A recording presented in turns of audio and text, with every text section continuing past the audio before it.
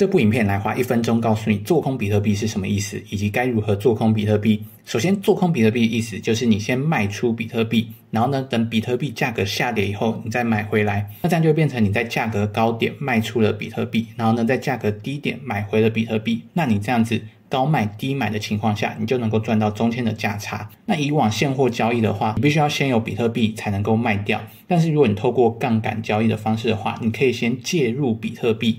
然后呢，先卖掉以后，等比特币价格下跌了，你再买回来，然后去偿还。那或者是说，像是你用合约交易的方式，你只要投入保证金到这个合约账户里面，你就可以先卖出做空，然后等价格下跌以后，你再把这个仓位平仓，也就是再把它买入。这样子的话，一样可以赚到中间的价差。那像是你也可以看到说，像这个订单的话，就是做空比特币的订单。你可以看到我大概是在五万七的价格先卖出。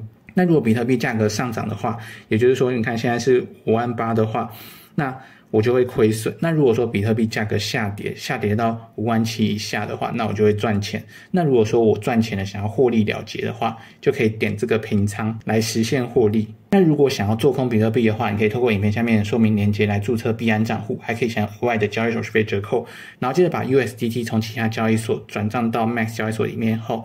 然后呢，再进到合约账户里面，然后点击黄色的双箭头，把资金从现货账户转移到 U 本位合约，然后呢，输入你想要卖出的价格以及数量，然后按卖出做空，就可以做空比特币哦。